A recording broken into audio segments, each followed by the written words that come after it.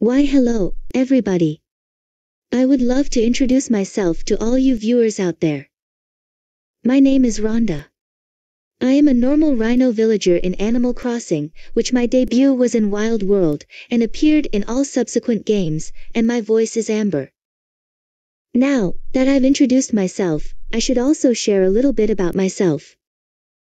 I was born on January 24th, so my star sign is Aquarius. I am also an only child. My skill is magic tricks, and my goal is to be a writer.